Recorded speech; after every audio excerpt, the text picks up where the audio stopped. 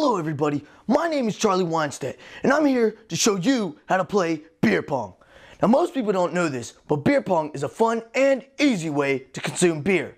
So let me just cut to the chase and show you.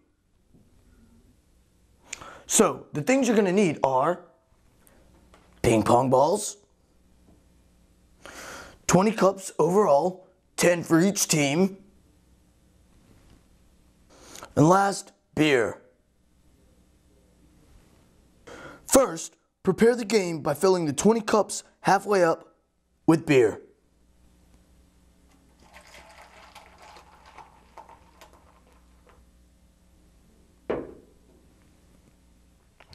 Now, place your 10 cups into a pyramid shape, starting with the 1 cup, 2 cup, 3 cup, last but not least, the 4 cup.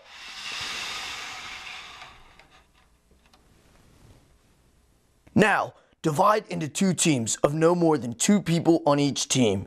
One person can also count as a team.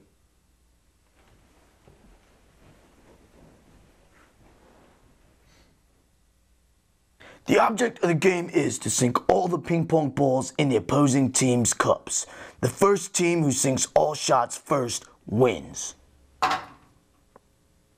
You start off by having a member from each team lock eyes and try to make their shot. Whoever makes their shot decides which team goes first.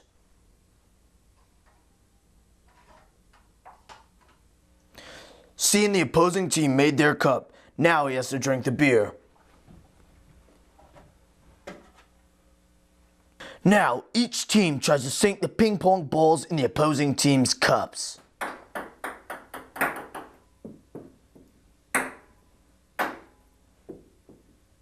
If both members of one team make their shots, then that team gets to play until they miss.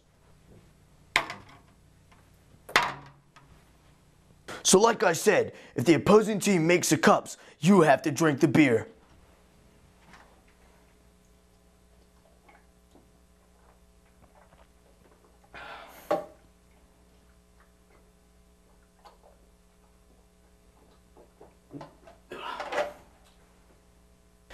Now, continue playing until one team's cups are all gone.